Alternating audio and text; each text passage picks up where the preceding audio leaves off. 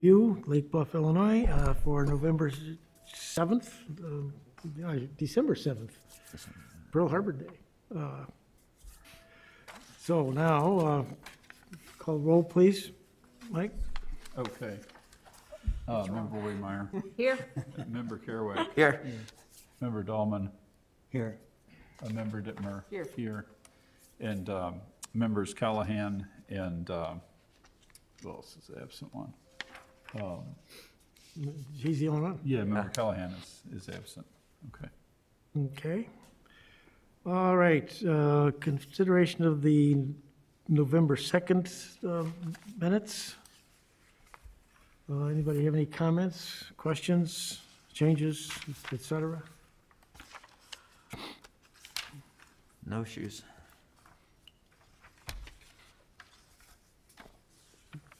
No?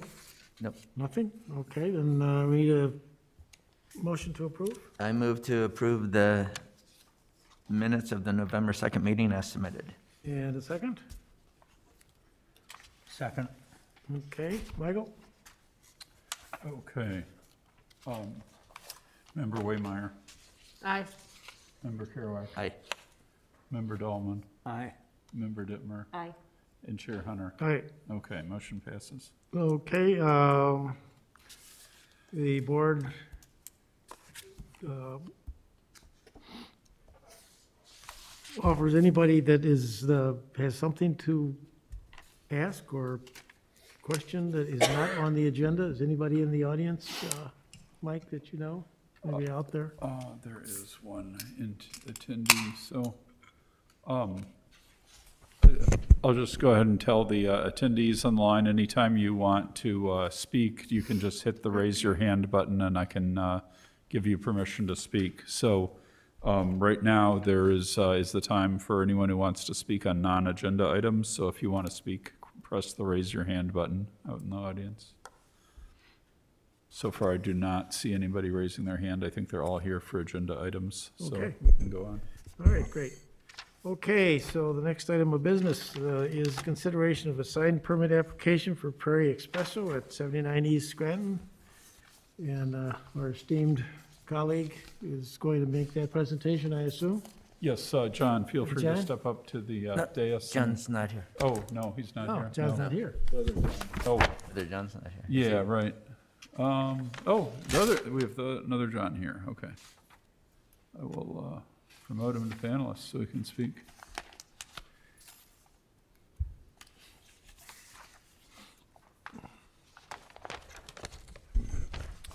Okay, John, I, uh, gave you, uh, permission to speak and/or share your screen also if you would like. I, I just want to say one thing to our AV guy, Bill, if you can hear me, Bill, in the back room. Can you press the continue button on your screen and make the picture full screen? Make the picture full screen also? Thanks. Okay, John. And I John. have to recuse myself. Okay, yep. Okay. So Matt recused Matt himself. recusing himself since Yeah. he is the presenter, architect of note. Right.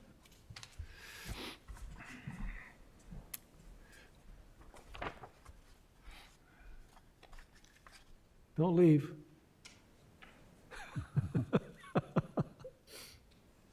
He did.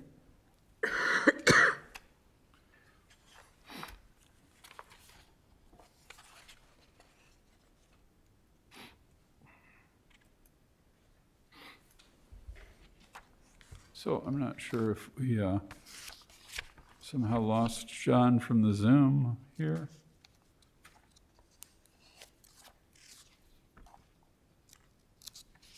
I promoted him to panelist. He was there.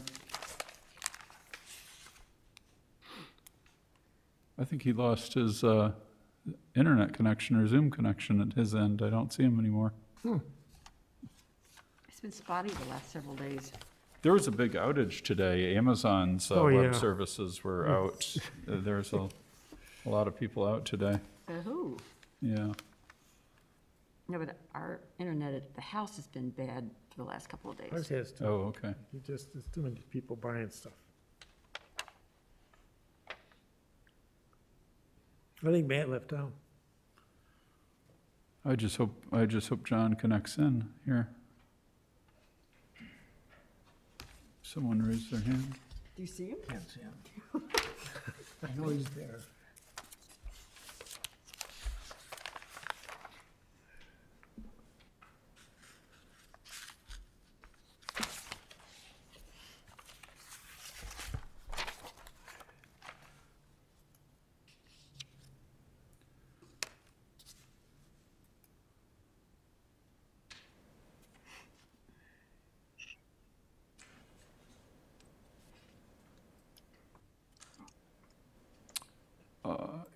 Yep, uh, James Murray, I gave you permission to speak there if you'd like to.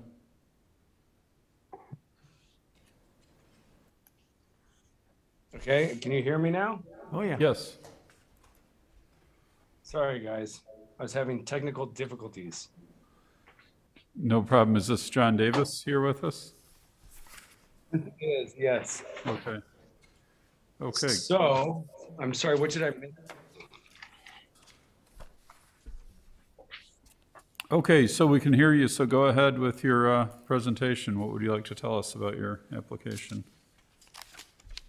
So, uh, we're, we're applying for a small uh, blade sign uh, to be hung in front of uh, 79 East Grand where the new prairie will be.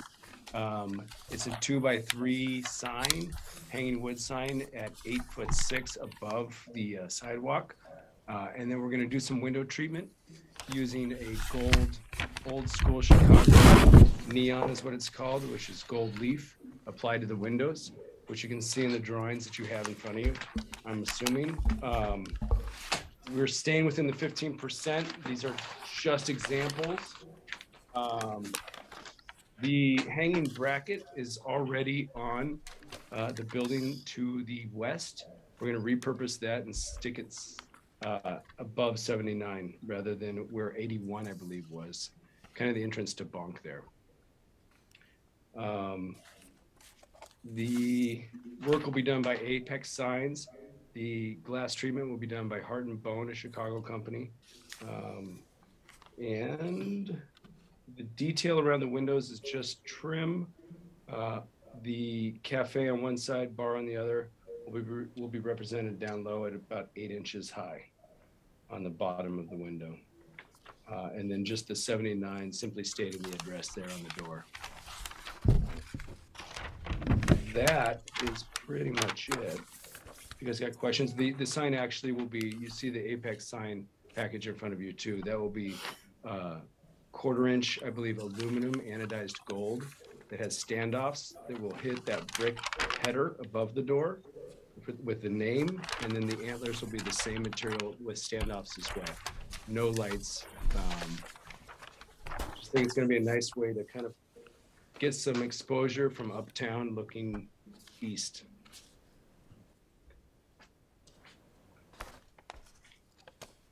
Do you guys have any questions? Okay, uh, Neil, what do you think? I'm comfortable with what they're doing. I think it's going to be nice. The only question I might have is, uh, there are numerous colors of gold, some that stand out shiny, some that blend in black, and, and uh, suggest that they might try two or three different before they settle on one, and, uh, and put it on all the windows and the sign. But that's uh, up to them. Otherwise, I, I like what they're doing. Yeah, The, the idea there, Neil, is to- to just be consistent with the color for sure. I think it's an improvement. Really add some class to the storefront. Oh, thanks. Yeah, it should be fun. I think it's gonna look really beautiful when it's done. Julie? Um, is it, on the Apex sign, it's gray with black? And on, I'm sorry, it's gray with gold, and on the big drawing here, um, Matt's drawing, it's black with gold? Is it black or is it gray? Uh, it's black. Okay. All right, and it's Do you- I think that's just a printer. okay, cool. And then it's, um, it's not illuminated, so there's no worry about being able to see it when it's dark out or anything like that? No, Right. no. Okay. All right, and it meets all the, the sign criteria and the sizes, so it does. I'm good with it. Yep. Looks nice, thank you. I'm, I'm, Thank you. I- I'm liking it, I really like the, uh, the, the sign hanging over the sidewalk, I think that's, uh, it's just very cool. It's just, it's, al- al- it's already a a neat, uh, logo anyway. Um, So I think that's, that's gonna add, add a lot to that building, which is sort of a plain building anyway. So, I think it's a good job. Um, Thank you. I don't know if anybody's noticed, um, but the existing stone face up there, if you look really close at it, you can see the word post office. Originally, yeah, And originally this used to be the post office. It's pretty hard to make it out Yeah, it's pretty anymore, hard so now. We're losing some history, but not much. okay. Does There, there was, Go ahead, Jen. I was gonna say that the original ceiling, I believe, is still from the post office. Um, and so we wanted to play off that, you know, and keep it somewhat historical and somewhat, um, you know, a blend between the, the, uh, the, the classic and the new. Okay, do we need a, yes, we do need the uh, motion. Um, can I just make one comment? This does, the Apex drawing does say ninety-one East Scranton on the corner up here. Not that that makes a difference. We all know it's for seventy-nine, but I'm just to make sure it's clear that it's for seventy-nine, not ninety-one, okay? Okay. All right. Good catch. Yep. Yeah, I don't know where there's 91. All right. Okay. Uh, The motion, please? Make a motion to approve the sign as presented? Second? Second? All right. Okay. Uh, Member Dahlman, Aye. Member Dittmer, Aye. Member Waymire, Aye. and Chair Hunter. Aye. Motion passes four to zero. Thank, thank you, John. When are you going to open? I'll let Matt know we're done with, uh, Thank you. The, uh, the stake in the ground's January 21st. We're trying to hit that date, so Okay, good. thank you much, guys. Appreciate it. Thank you.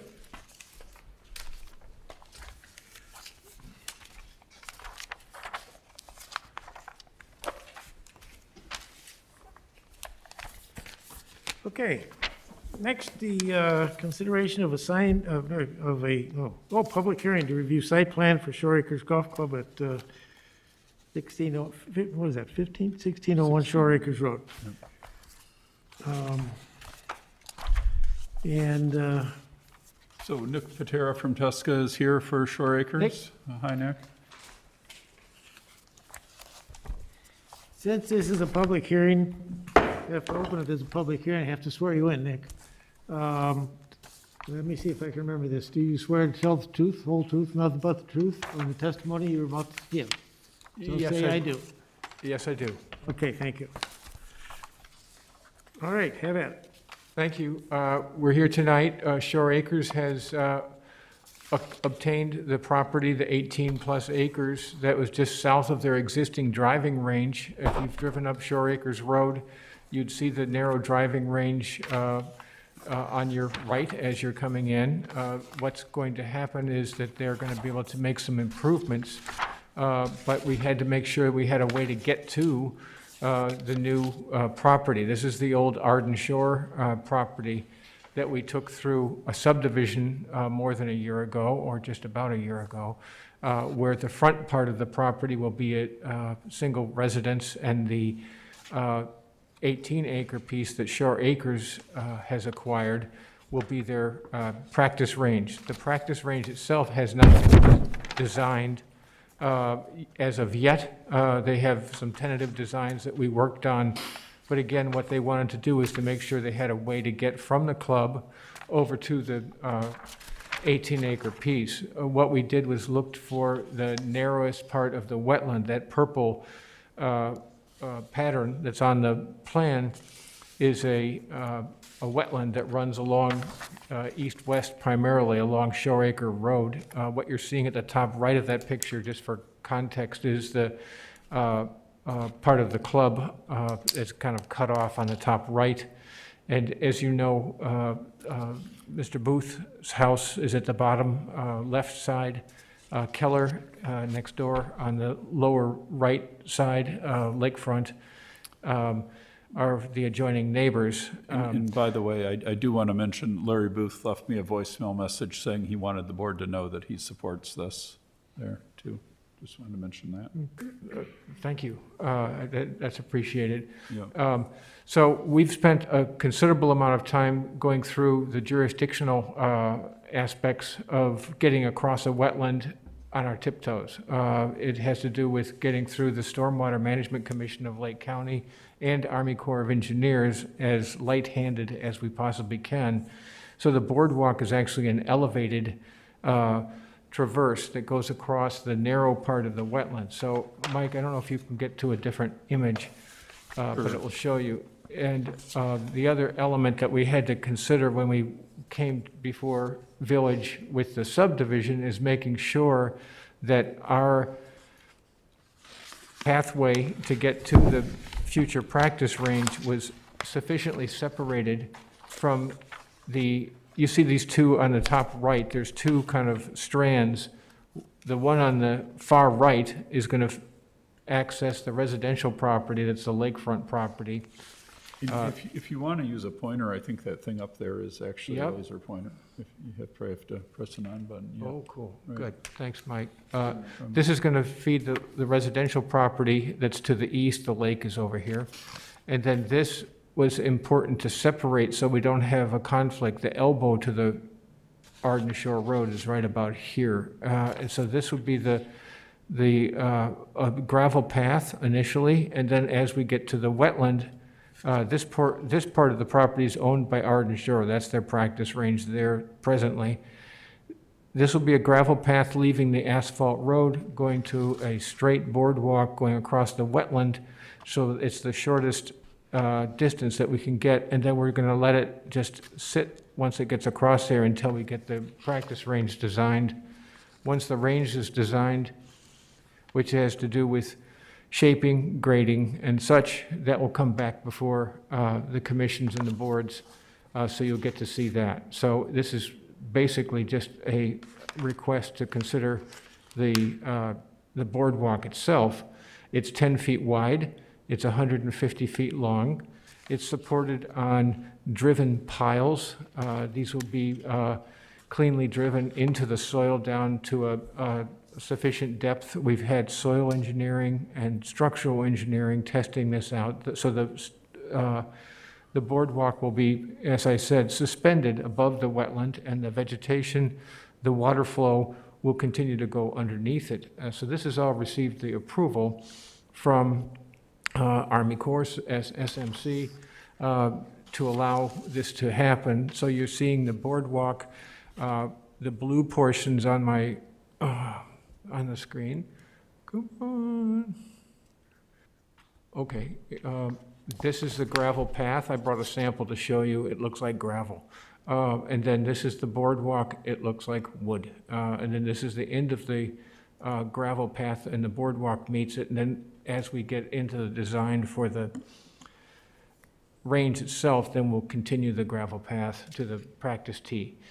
Um, I've brought some samples, but that's, that's essentially, and I'm sorry, that little picture on the lower right is essentially what we're making. There's a curb on each side. The curb is actually just a, a four-by-four with an airspace between the decking board. Everything is a southern yellow pine with a clear preservative treatment uh, that we're using. And then the parts that are hidden underneath uh, the metal stirrups that hold the uh, beams and the metal posts uh, will be essentially tucked underneath uh, the overhang of the, uh, the boardwalk. So the upper picture is the cross-section.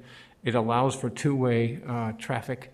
Um, uh, This is for light vehicles only, uh, not even their mowers. Uh, The big range mower will not be going across. This is just for golf carts, maybe smaller maintenance vehicles, but we're going to prohibit any other uh, large vehicles from going over. Uh, So what you're looking at is a cross-section uh, at the top view. Um, This is a linear section as if I'm coming up the ramp, and then I'm going to travel this way. There's this little curb Uh, Anybody who's seen a golf course bridge might find this to look somewhat familiar. Sorry, what's that?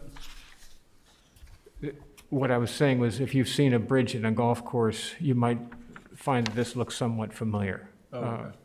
We intentionally kept it only 30 inches off the ground, so we didn't have to have a crib-like uh, uh, enclosure. It's really going to be a dramatic uh, experience going through the woods. That woods is a pretty dense uh, woods before you get to the range, so there'll be a a bit of a, uh, I- I'll say, emotional kind of an experience, leaving uh, Shore Acres Road, going through the woods, and then opening up to this new range. I think that this is all in keeping with the, with the dynamic and the drama of, of uh, well-earned that the club has. So that's essentially the uh,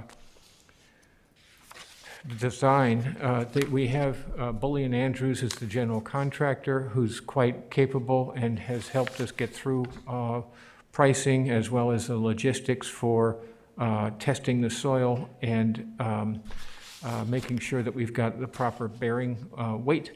Um, And so they're anxious to go while, while the ground is still dry and not underneath uh, a blanket of snow just yet, Um, but we have to go through village approval. Um, I do have a couple samples if you're interested. It looks like wood, it looks like gravel. Hang on.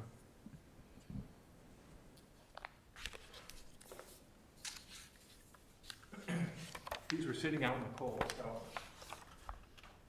uh, If you're pulling the splinters, that looks like wood. This is uh, a limestone crushed uh, gravel, if anybody wants a sample.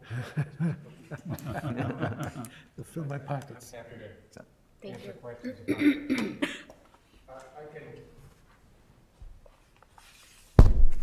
uh, conclude the presentation by saying that uh, once we get through village approval, we'll be working on uh, staging uh, that will come off of the old Arden Shores uh, where the school once was. Uh, That's where all the uh, construction access will come from because it's a vacant piece of property uh, now. And uh, that the uh, logistics will all happen off of Arden Shore Road.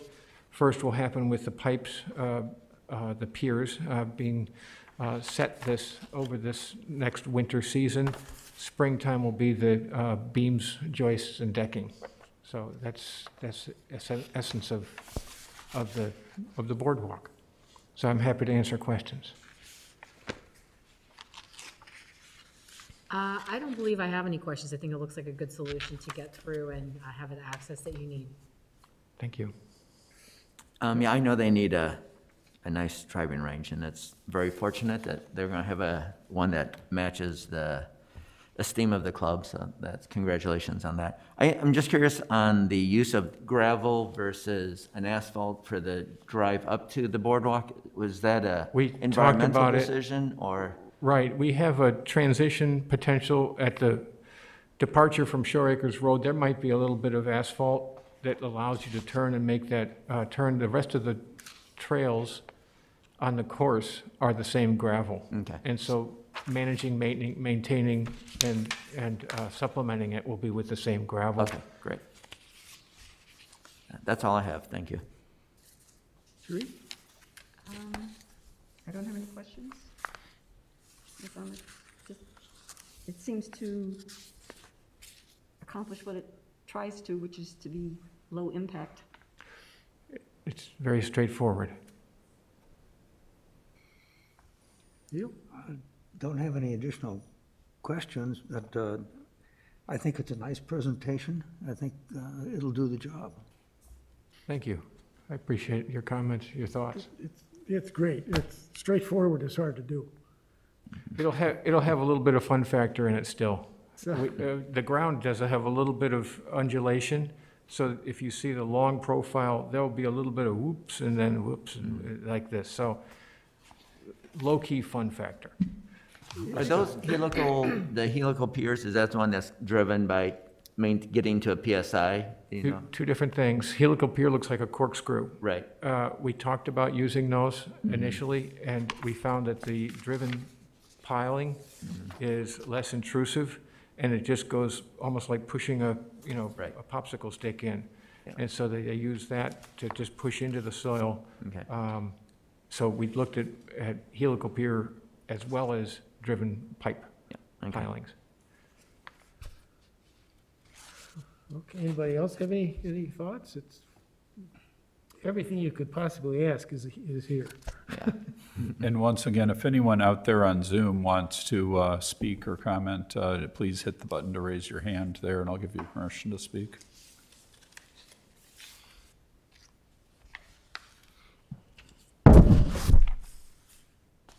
No?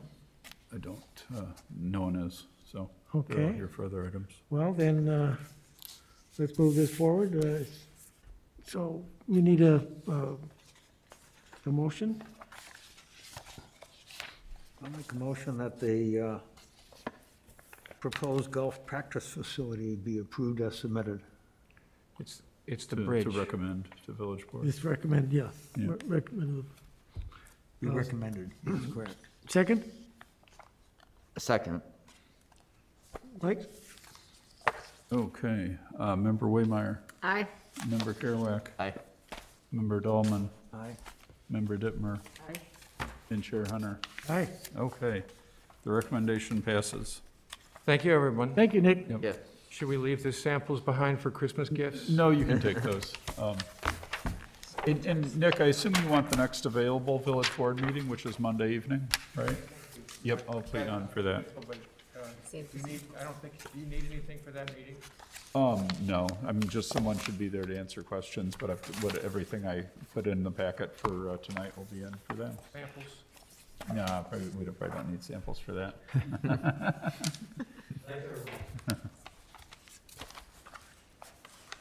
Okay, next is the uh, Verizon. Uh, yep, so I think we have, um, two people from Crown Castle here, and I will, uh, give them permission to speak. So, Jason and/or Susan, you have permission to speak, go ahead and, uh, make your presentation. If you want to screen share, you can, otherwise we have, you know, your submission on paper here. Hi, good evening. Can you confirm that you can hear me okay? Oh, yeah. Yes, we can. Perfect. Uh, good evening, everyone. Um, thank you very much for, for having us here tonight. Um, my name is Jason Krolowitz. I'm with Crown Castle. Uh, we are uh, owners of the tower at uh, 45 East Center Avenue. Um, Suzanne Kingland, my my colleague, is also on the on the call. Um, and we are here representing Verizon, um, our customer who's interested in modifying their existing facility on the tower. Um, they currently have an antenna facility at the 99 foot elevation of the tower, and they're looking to remove and replace six antennas, um, add three additional antennas, and swap out uh, radio units and some associated cabling. Um, there's no increase to the height of the tower. Um, there's no um, modifications to the ground facility that would impact the size of the footprint. Um, and there's no uh, excavation that's going to be happening outside of the tower. It's a pretty, pretty simple um, modification project.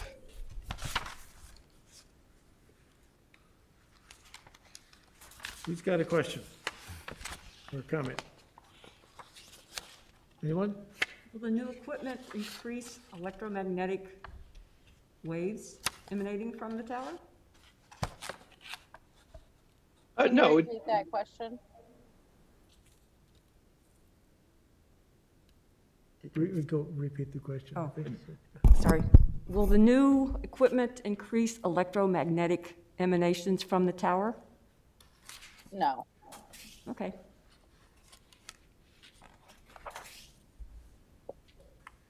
Anybody else?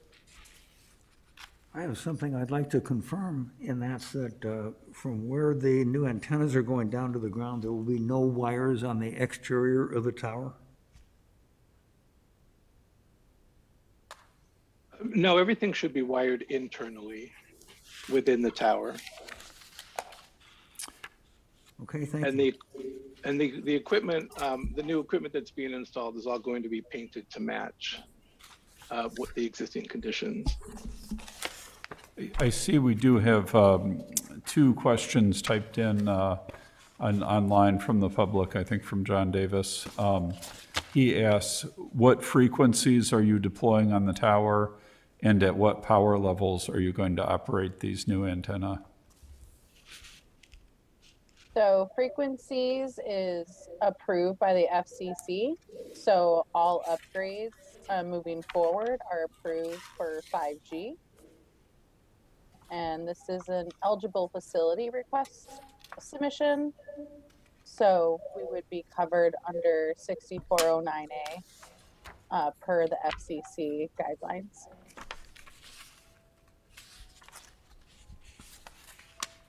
Thanks. Is there a couple other questions?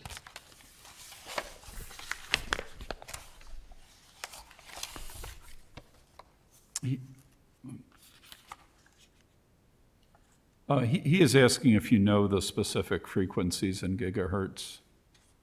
Uh, so that would be within the customer to uh, provide, and again, that's a overreach and a, a request of a EFR. But if you guys as a panel want to request it on the back end, um, you could. But again, it's an EFR submission covered under 6409A. Uh, our customers can't submit uh, for frequencies outside of what the FCC allows. Okay. Do you know maybe in general what, uh, what cell towers operate at for frequencies? Maybe that's more the, the question the, uh, the public is, the guy from the public is asking. So I think that's an overreach at this point, um, based off of the FCC regulations. It's, it's not that we were trying to regulate it. I think um, the gentleman from the public was just asking for a point of information out of curiosity perhaps or something. I was just I mean, out of if you happen to know. curiosity, out of curiosity, we can, we can, out of curiosity, we can go back through, um, the FCC's law to be able to provide that. It's not above. Okay. And the, the frequency should be also within the construction drawings too, I believe. Okay, thanks. Is that it? Yep. Okay, this is way beyond our technical ability to analyze, at least mine. Oh,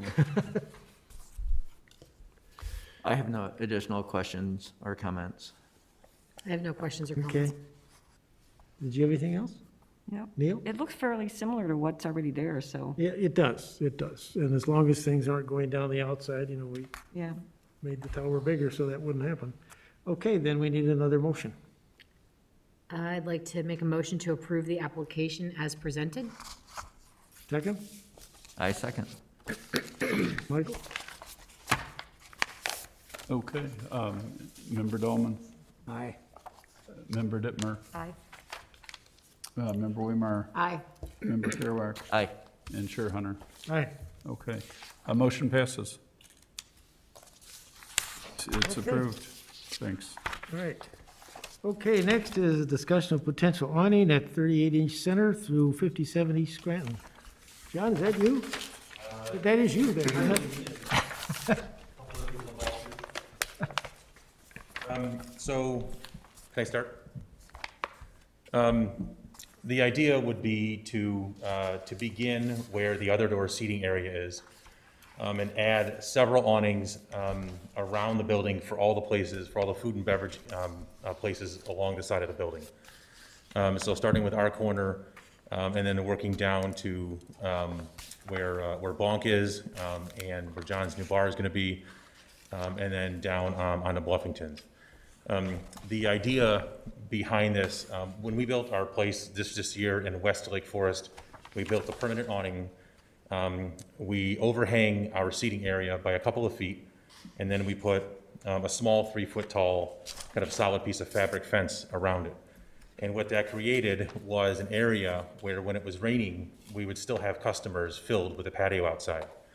So literally every day that it rained, except for one, when it rained sideways, um, we had a full patio when every other restaurant was, uh, was closed from their outdoor dining because nobody wants to eat in the rain. Um, So the idea with, with this is, uh, number one, to provide a little protection from the rain and, and- and encourage people to spend time outside at our eating and drinking places when it's not perfect weather. We generally have a, a- a difficult time with that now.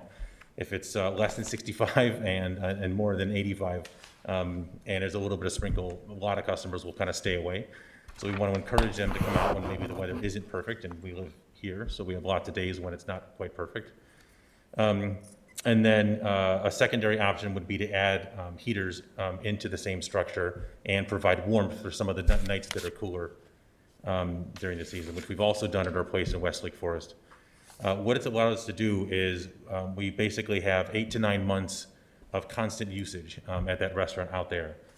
Um, Whereas um, in Lake Bluff, we get about five months of, of warm enough weather for customers to sit there, and then we lose whatever, the 20 or 25% of the days when it rains. Um, So uh, this has the chance to almost double the amount of usage days that we would have um, for all our eating and drinking places um, on this block. Um, And obviously, we want to do things that are, that are done well and, and don't be, and and are not an eyesore with the community. So uh, the awnings are being designed to cantilever out from the building um, and to not have any post supports in the bottom. Um, They will all be structurally designed to handle, um, and, and at a certain angle to handle weight from snow um, and rain. And they would be permanent structures, but they would have a thin profile and a nice, light, airy feel to them, a very European feel. Um, So they wouldn't have just lots of heavy structure kind of supporting them. Also would keep the area open for snow cleaning and things like that um, in the, uh, uh, in the, in the wintertime, uh, when we have to, you know, snow plow and things like that. So um, we're just trying to get general feedback on, on, on kind of what everybody feels and thinks about it. Um, We're obviously trying to, you know, increase um, usability, um, create something that looks beautiful in town um, and allows the restaurants and bars um, and, and sandwich shops and things like that to stay open a little bit more and have more seating for customers. Um, We, we, for the last two seasons now, we constantly have customers asking us to find new ways uh, for them to sit outside. Um, It is a, it it is a a constant daily thing. Um, And when it rains, we generally will all stay away. When it starts to get cold, the same thing happens. So we're trying to find uh, a solution to kind of mitigate, uh, mitigate some of that increased traffic. Um, Questions?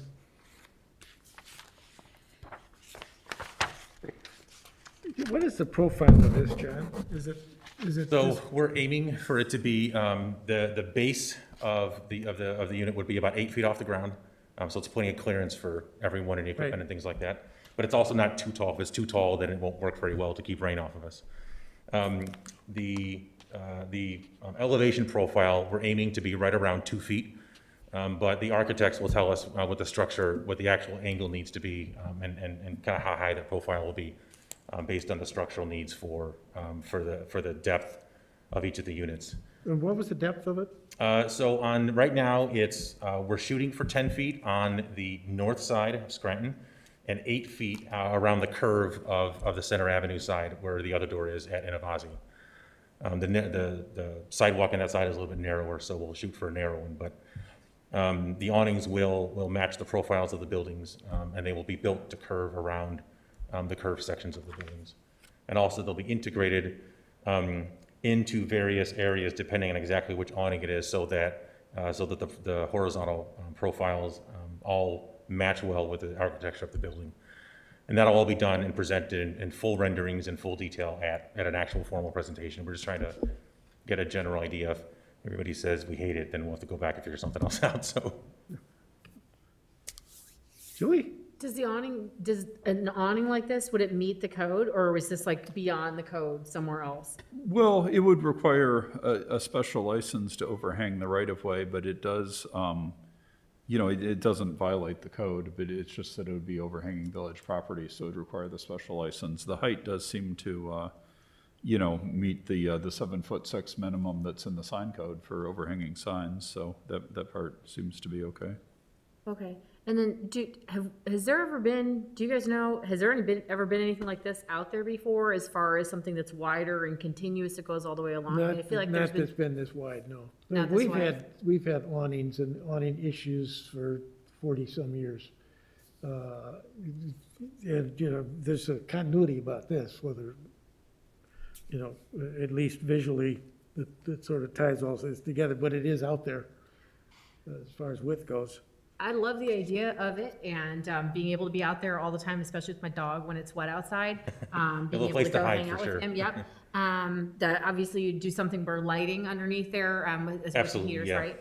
Um, I think that you are going to lose some of your light inside your store, but that's obviously your, you know, deal. If you're okay with losing lighting inside because of blocking, I know we're on the north side there, but still, it looks Yeah, like it'll be a little of the the. natural light. Um, obviously, we don't get any direct sunlight over there, so.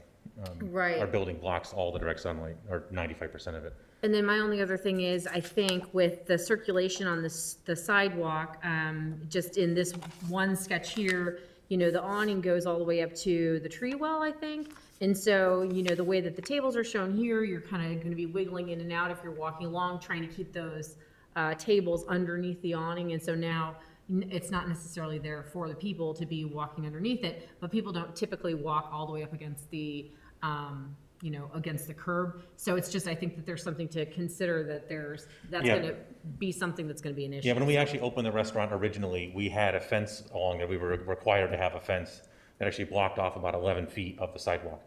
And so people would just walk um, on the five feet on the outside of the curb, um, down the curb. We had that for the first probably three or four years um, of the restaurant's existence. So I, I think it's an interesting idea. I think I- I'd be supportive definitely of looking at the additional detail that was presented and how that would really look, um, probably in three D as you Absolutely. look at it along the, the building, because it's gonna change the way the building looks. Definitely. And, um, you know, we don't wanna be afraid of change, but at the same time, it's gonna change the way things look, so people wanna see what, exactly what that looks Yep, like. and we've spent, we've been working on this, um, we started with the, we started the idea of, of just wrapping the corner with Inovasi, and then it's kind of evolved over the last couple of months. Um, but we've been working on it for, for the last seven or eight months now, um, with the architects and getting drawings done and things like that. So we've been designing it very carefully so that it adds to the way that our, that our building in the, in the downtown looks and, and doesn't detract or become an eyesore or anything like that. All right, those are my comments for now. Yeah. Thank you. Um, I, it feels like you're kind of taking ownership of a public right-of-way. I know we're doing that a little bit now, but it really feels like we're going a little bit beyond, you know, it's, it's this incremental kind of grab. Um, you know, I do see that it, it's beneficial to your clientele, but not to the rest of the community. You know, you're forcing everybody, oh, you know, out towards the perimeter. Um, and it, it just feels a little heavy-handed right now. And I think it's gonna change the way this block feels, it's, it's, it's gonna kind of segregate this corner from the rest of the block. Um, It just seems very heavy and, uh, you know, ten feet is a, is a big extension. I was in Deerfield today, I saw one of these on a building, is on the side, but, you know, they ended up having like the plastic coming down with the plastic windows. So I can see this evolve into kind of this pure tent feel that's not in keeping with, I think, what we want our streetscape to be. Um, I understand and I appreciate the goal, because we all want to increase uh, customers and your, you know, time that you can grab. Um, I, I just feel that this is, I mean, final judgment would be your final presentation, but it just feels very big for our community. You know, just, it just feels very heavy on the building, and you're grabbing a lot of the public way for your, you know, for your personal use, which feels a little, you know, right now you're splitting the sidewalk with some people on the perimeter and then some towards the interior, and people are walking in between, um, which I feel is the right way to use that sidewalk, instead of forcing the people's right-of-way off to the edge and you taking the primary part of the sidewalk. There are a couple of issues with the way that it's structured now with, um, with it having, with people running down the middle. One is kids on bikes, even though we ask them not to. Uh, we had two servers get run over this summer, um, with trays in their hands from kids that are riding their bikes down the middle of that area. Um, and the second one, um, happens maybe once every couple of weeks where a dog will take something off of a plate as they're walking by. Right. Um, But so it is does- a public right-of-way, right? It is first a Right. sidewalk Well, our original. not your place. Our, our original permit that, that, that we have with the village, um, actually has that area, um, um, blocked off for it, so. So- Um, we use about two-thirds of the, or a little less than two-thirds of the sixteen feet that's, that's the sidewalk. Okay, so I'm not, so, and I'm not aware of your ownership of it or what you have, so I may be speaking out of turn then. So are you saying that Inovasi owns or has the right to the first two-thirds of that sidewalk out towards the street? I'm saying that our, when we, when we applied originally for our permit for outdoor dining, Yeah. it covers about 11 feet away from our building. Okay, That's all that I was saying, nothing more than that. yeah. One thing that's worth noting is that this drawing is our, our original plan for the score lines on the sidewalk, but actually as built, the score lines are, are different um, than the drawing. I, I actually like the way the score lines turned out out there, but I think it, it kind of looks like it defines a through path, you know, when you look at it now. Um, And we also, just so we're clear, we aren't proposing to use any more of the sidewalk than we currently have been using for the 13 years we've been here. It's the same amount of space, the same um, distance of tables and things like that. We just would have people go around instead of walking through the tables. That's, that's really the change. But that's also something that we can always adjust to. It doesn't, it doesn't absolutely have to be that way. Why did you switch it from that to where we are now? with Because of the things I just outlined, because the public does not respect not riding bicycles down the street. It's, Right. it happens a lot more consistently than I think people, you know, realize. Yeah. And we've got a long straightaway, so they actually have a decent amount of speed. Yeah. And we have a blind corner that they ride around the Yeah. corner on. Um, and then, um, and then it's not always the best, and not every customer likes the public walking through the dining room, um, as they're, as they're eating. Some people enjoy that, Mm-hmm. Yeah. and some people don't. Um, so we're just trying to adjust to that a little. bit. and I'm, I participate in your tables a lot. I love, it's, it's amazing. I'm just trying to make sure that, we always have precedents doing something. I just want to make sure that what we're doing here, if it passes, that we're allowing that then to, our, you know, this will be our city then.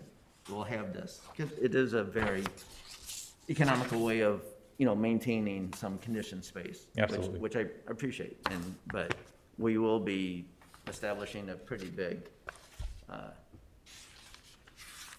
statement here for the rest of the community and what they can do. And, yeah, I'm, my concern is that next step where you do start putting on the, the walls, the plastic walls. Right. And I know you've seen that, and it is a natural progression. Yep, I understand. Um, and so maybe there has to be some, you know, that, Maybe that's kind of the line that we could, that we could leave it, that it needs to be, be maintained as open air, and you're not allowed to enclose it completely. that becomes to me very, as, and this was on the side, and it was very unbecoming just as the side. I can't imagine it, you know, being part of our town. Um, Then it's impossible to walk through, so. Yeah. That would certainly be an easy thing to include with the, with the, with the permission for it, so. That's what I have for now. Jerry? Um, I'm concerned about the effect on the trees. Uh, How much it's going to impact. The, um, right now, the, the edge and the bottom part of the roof line, we're going, we're, we're having it designed so that it doesn't, um, uh, it doesn't im- in, uh, actually touch any of the trees or touch the branches. Um, so the trees themselves should not actually come into contact with it, with any part of the, of the awnings at all.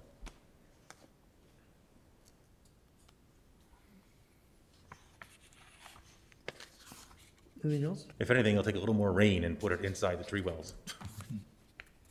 As the rain runs off of the edge and runs down, then it'll, it'll drop into the tree wells.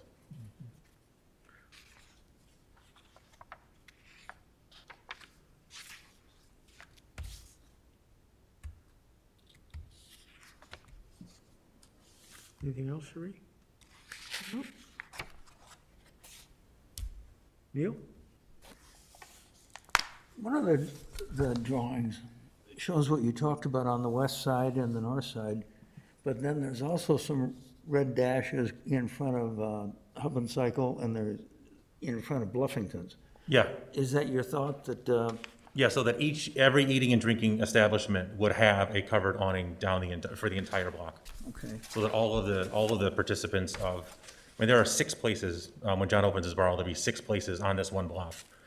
And the idea would be that everyone would gain the same kind of benefit.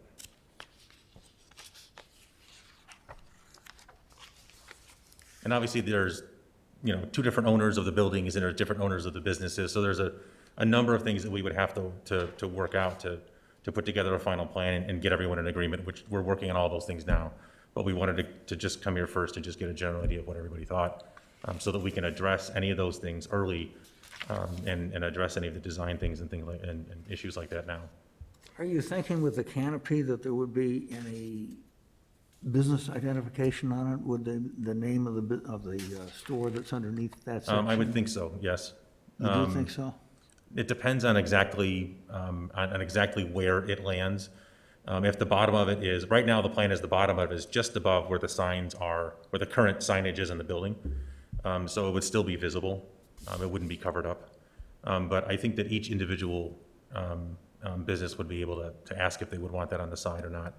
Um, and really, it depends on, on what you guys think, if that would be a positive thing to do or not, so. And then I guess you have to decide if, like, if, if there is lettering on there, would it be only on the skirt? Or would also be there, there's be some graphics on the, uh, the top of the awning itself? Right, I assume it would be something that would be on the skirt, so it would be in keeping with the way that the building looks now. Um, this, the front of the skirt is about a ten inch, um, a ten inch high piece, which is about the height of, of all the current lettering now. Yeah. So maybe something like that would be kind of the most that I would be looking for anyway. What's the fabric, what's the awning made out of? So it's made out of a fabric vinyl. Um, it has a twenty-five year warranty. Um, it's weather resistant, leak proof. Um, it's a super high quality material. Um, it'll, it'll, there's actually a couple awnings, um, on the building now on the, on the far south end of it. Um, but it'll be, it'll, it'll look not like plastic and it'll be kind of a, a meld of vinyl and, and fabric together. I mean, uh, Cherie brings up the point about the trees, what, what the awnings do to the trees, what do the trees do to the awnings? Uh, Um, With so. the stuff that's gonna fall and, you know, all of a sudden they're black and streaky and moldy and, Absolutely. So the material that we're getting is designed specifically to be underneath trees. okay. So it's, it's, it's one of the first concerns that we talked about. Neil, did you have something else? And they'll have to be washed and maintained every couple of years like normal. So, uh, John, would it be possible, I mean, you could do all the 3D renderings and everything, but I, I'm just wondering if you, you know, I kind of go along with what Matt was talking about, overtaking the, so much of the public way, uh, to sort of build a test case, just a, just a small, small one that, that uh, lets, lets everybody actually stand under it and say, this is good, this is not so good, this is, this is too far, not far enough. What, uh, what size of, of a, of an awning would be looking to build? Well, I mean, just a, just a section, it wouldn't even have to be the real thing. Uh, just, just a mock-up that you could somehow temporarily attach up there and, and kind of judge the distance of what it really, really feels like. And you, you might, uh, find that useful yourself. Um, I think it'd be hard to build just a, a mock-up, uh, to, to get a, because it's, it's all aluminum framed, um, and then the fabric is stretched, um, and bound over it. Um, we'd have to probably build an actual section of it to see what it really is gonna look like. Well, I'm talking about something. And then if we attach it to the building, then we'll be I'm just talking anchoring in about the something very concrete. crude, that, uh, that gives you sort of the volume of what, what's there. um, Or what would be there. Doesn't have to be the color, it doesn't have to be fabric, it just be, could be cardboard and sticks. Is there an existing one in Lake Forest that would, is very similar to what? Um, there is, but its shape and size is very different. Um, but yeah, the- as far as the structure itself goes, um, and the material that it's covered with, yes. And that's at Everett Farms in Westlake Forest. Is where? Everett Farms in Westlake Forest? Oh, that's your place? Yeah. Yeah. Would it be, I could take a picture of the one that's in Deerfield that I saw today, just to, sh- and I don't know if it's the exact same, but it's very shallow, just like you, you know, so it's a very low profile, you know, but it's probably about ten feet out. Um, Where is that? So it's on Deerfield, right across from that Starbucks before you get to Waukegan, that, you know, where the pet sh- people, live, you Yeah, know, that okay. corner there. It's, it's in the, um, facing, uh, the Starbucks. It's, it's that corner building, the side of it facing the Starbucks. There's a blue one there. The, the Garrity Square Mall? Yeah, I Yeah, think so. okay. And is that one done with no posts either? Yeah. Yeah. You just get a sense of, you know, it, there isn't, it, it's, it is somewhat imposing, you know, that's why, it's just trying to get a feel for that, you know, it's a big change to our downtown to add this, you know, it truly is. You know, we worry about little changes here and there that we're Yeah, this concerned is a big about. thing. This is a big, you would Well- hate to make this, and I'm not saying it is a mis, you know, it's a very expensive mistake if it's done. And I know you wouldn't allow it to be, but just, there's still that possibility that it's just a big statement, you know, that changes everything. And permanently, you know, it's not like a seasonal thing that we're, it's a very permanent change to the way our downtown is gonna, uh, the feel of it. It's, it's I, And, I, I got a comment to make that, uh, if you're talking about going down at the other end on Bluffington's, that's a whole different architecture that's on the National Historic Register. yeah, And so we can't just start messing around with that. Um, So then And, maybe it wouldn't work there. Or Huh? we'd have to be, yeah, the idea was as we get further east, each of the awnings would be designed for the individual space it's gonna be attached to. Um, so if it's possible to do at Bluffington's, then, um, you know, we certainly wanna do it. If not, then, um, you know, we're not allowed to. I really don't know what, exactly what the rules are, or how it would work, but, I um, there are differences also in the building as you go further east, so, um, each of them would be designed and adjusted for the, each individual building so that they made sense architecturally. that's gonna be hard to do there. I see we have some questions online. Should I Yeah, get those? Okay.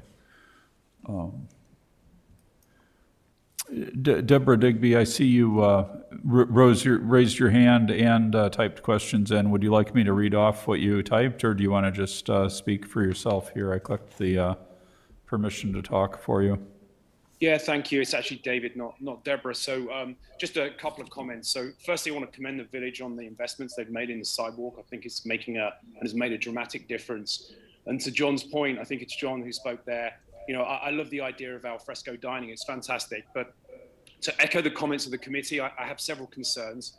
So uh, I understand the situation with your bar staff or, or, or wait staff in terms of you know danger. But one of the reasons we moved to Lake Bluff was just the freedom, uh, the kids. So I think that the sidewalk should be left open for kids, dogs, uh, push chairs, uh, wheelchair access. Um, you know, I, I also think we really need to be considering the businesses east of uh, your premise. So you know, it feels like it's very imposing. Um, I, I worry and wonder about the individuality of the businesses. And so, what if a business didn't want an awning? Does that not put them at a competitive disadvantage? Would also think there would be a degree of um, blocking uh, businesses being able to advertise uh, if you're coming from the station and looking east. Uh, I do have a concern. Again, think the village downtown is stunningly beautiful, um, which again is one of the reasons we, we, we moved here. So I do get concerned when I look at fairly expensive umbrellas that we've got in our house. They've weathered very badly uh, just because of the tree cover. And so um, aesthetically, I wonder on the impact uh, and look and feel of the historic downtown. Uh, and secondly, I, you know, to be honest with you, I, I see blandness coming to Lake Bluff. I, I love the individuality, and so I'm not sure personally I'd want to see almost like a single brand uh, look and feel down the high street. I, I love the individuality. Thank you. Yeah, I'm sorry, I want to get your name for the minutes, and I missed it. Could you tell me your name again? Yeah, I'm a resident of Lake Bluff, David Digby, D I G B Y. Okay, thank you.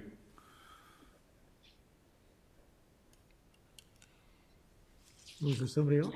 No, I think that's it. Well, what do we, uh, John's here to get some opinions before he proceeds, right? and I, I just, and I do want to echo the, I don't want to say blandness, but that there is a homogeneity to this, if that's the right word, that is just, you know, I, we have so many restrictions that don't allow for that, and I think this is bringing that even stronger, you know, stronger statement. And I don't know if there's a way to, if this goes forward somehow, a way to kind of break it up, you know, instead of just this one big green wall, you know, or whatever umbrella going across. Um, but I still think it's gonna feel very imposing in, in our town.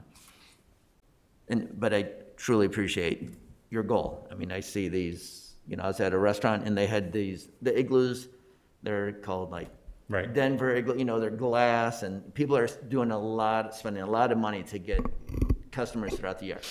Truly appreciate that. I just want to make sure that we're respecting the overall community also. And, and like what Mr. Digby said, why we live here.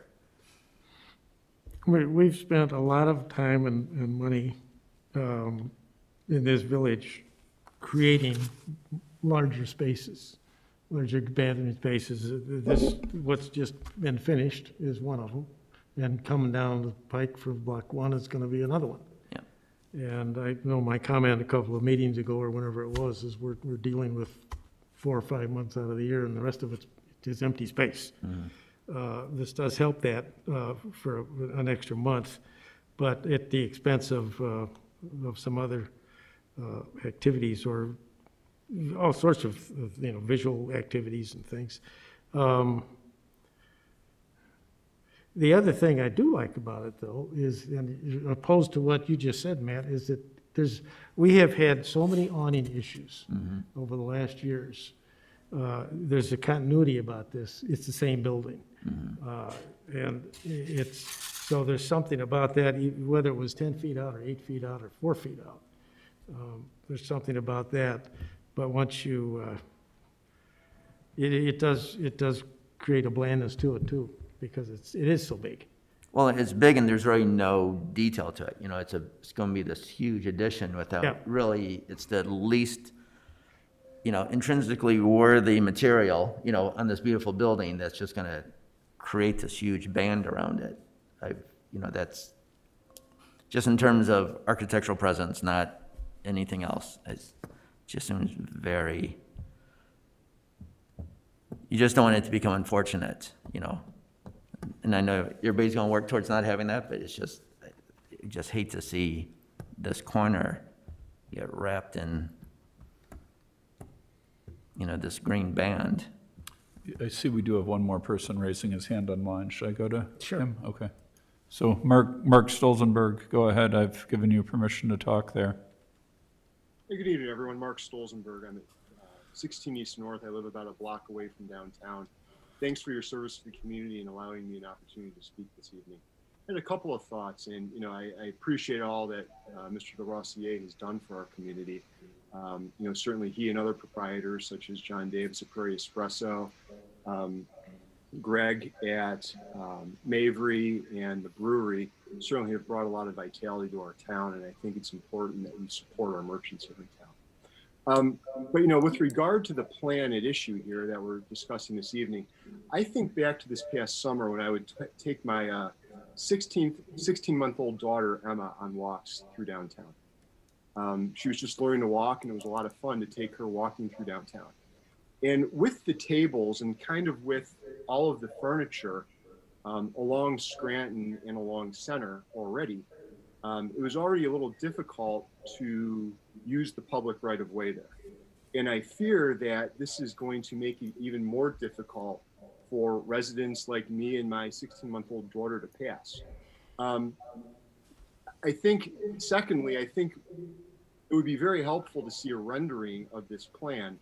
I fear that the sidewalk along Scranton and the sidewalk along Center, uh, you know, heading south toward Village Hall are going to look like tunnels in that this awning is going to be so massive um, that it's going to block out a lot of light and it's going to be like, you know, almost walking through a pedway along um, a sidewalk that had been formerly bathed in sunlight, bathed in light.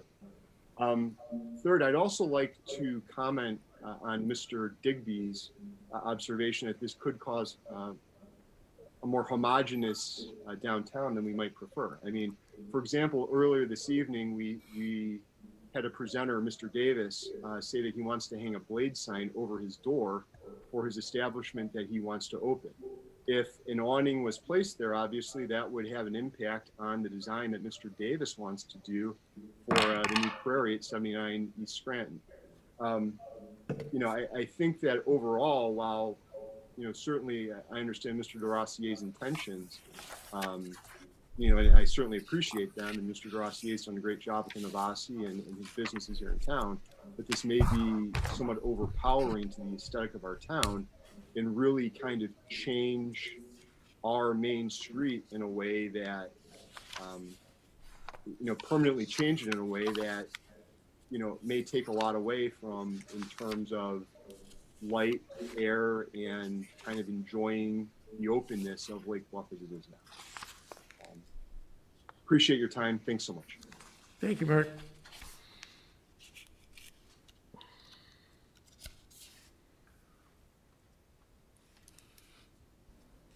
Anybody else out there? Uh, Nope, I don't think so. No one else is raising their hand. How do we synthesize this for John to go back to think about it? Do we all think it's too much? Is there a consensus or not on that?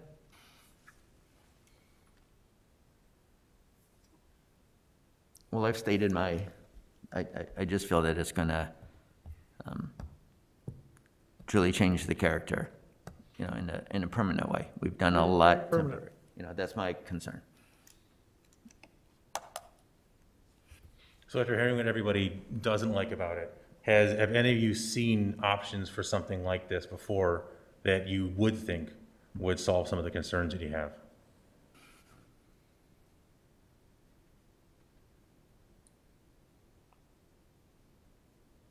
Well, you know, maybe it's a section, you know, maybe it's, there's a compromise, a scale here. I'm, I'm not quite sure. It's just,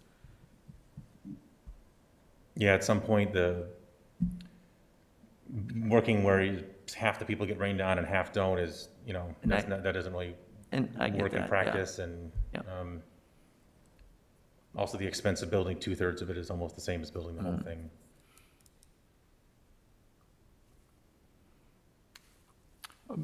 Mr. Digby, were- did you want to speak again, or did you still have your hand up from before? I'm not sure. I think I inadvertently still have my hand up from before. Apologies. Okay, no problem.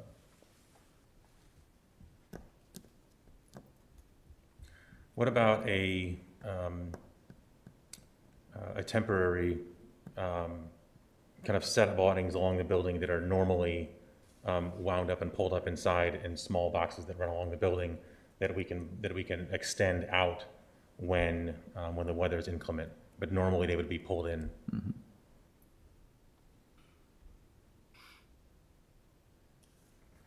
Do you know where any examples of those are?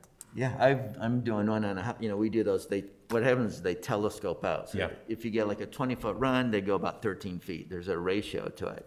They're, uh, it's a great design. It, you end up with a metal box that's twenty feet by, you know, ten by Yeah. ten or something. But it's a, it is a solution, and I'm doing it for our residents, and it's a good way to, they're tested, I mean, the wind capacity is amazing, all that is. Yeah. um, So, you know, I, I feel that that's, even the ones that kind of roll down, you know, a little more character. I almost want to go the other way, where it's a little more character if you did it instead of this, but, um, I'm having a hard time adjusting anything to the face of the buildings. yeah, I know, that's, You know, it's, Yeah, if they I'm- were plain modernistic buildings, that yeah, it would be one thing. yeah, I mean, it was suggested that it was, it it could happen on block one. Well, it's the same thing. It Yeah. doesn't work. yeah, yeah. Mine's on a very contemporary home, and it kind of just fits right in, Yeah. and it just, but, I, I don't know what to, I don't know what, uh, what a, a better solution would be uh, to solve everybody's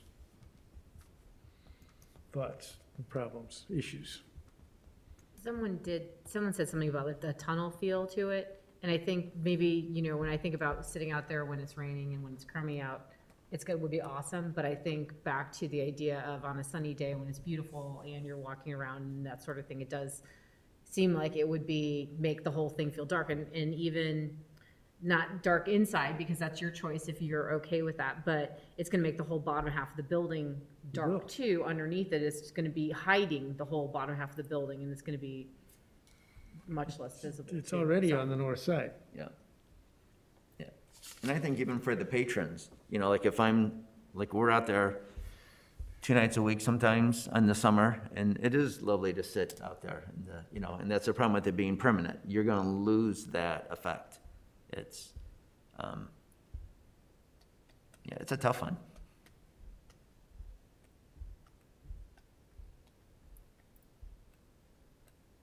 Okay. Sounds good. I have no other questions. You have any other questions Wish for we me, had, or? I wish we had some, some, uh, Yeah, it's- some helpful answers. Yeah, it's tough. Okay, great, thank you. Okay, thank you, Thank John. Well, think.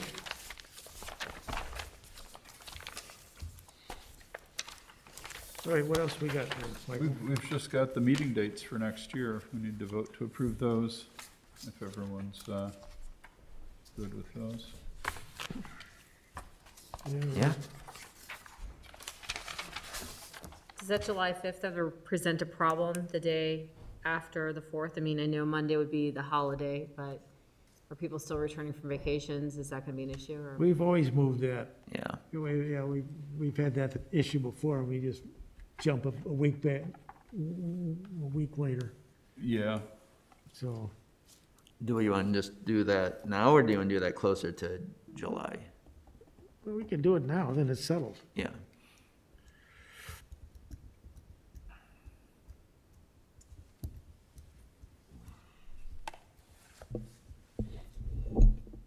yeah, that's fine. We can, we can make a motion with that change. There's a, there's always a uh, chance, I don't know for certain whether we'd have a conflict with having this room, but Yeah. that's okay. We can go ahead and make the motion. Yeah.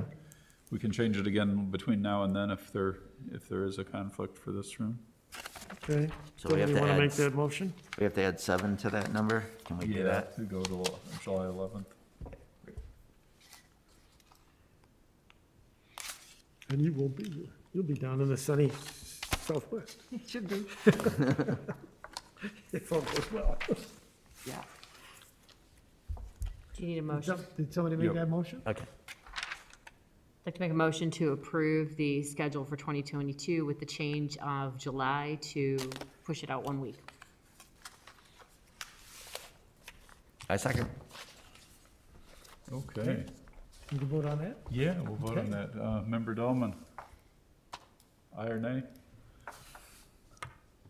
Aye? Yeah? Okay. Member Dittmer? Aye. Member Waymire? Aye. Member Caraway? Aye. And Chair Hunter? Aye. Okay, motion passes.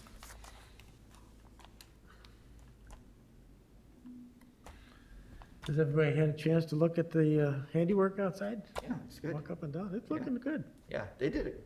It really, I Very really efficiently. like Yeah. this, this That center. That was- really is nice. That really is nice. Yeah. Rest of it's sidewalk, Yeah.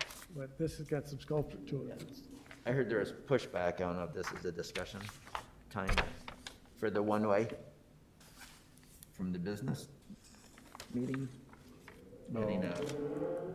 So is that, where are we on that? Do you know?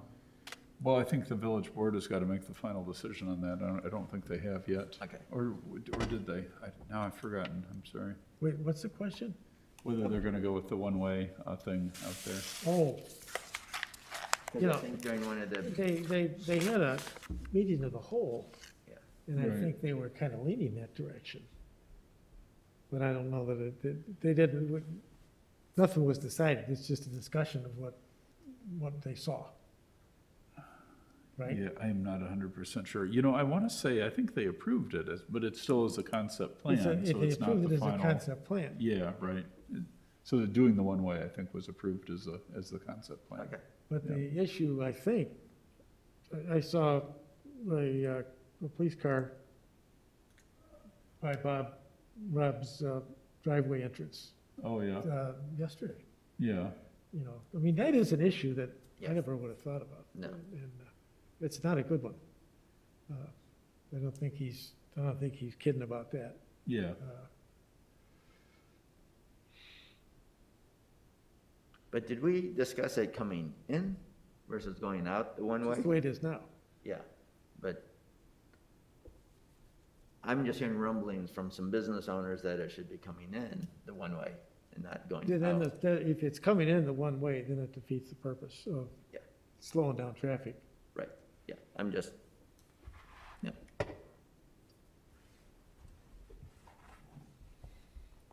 Big changes to Lake Bluff. Okay, All right, well, should we do a motion to adjourn? we can do that. I move to adjourn. I second. All in favor, All in say aye. favor? Aye. Aye.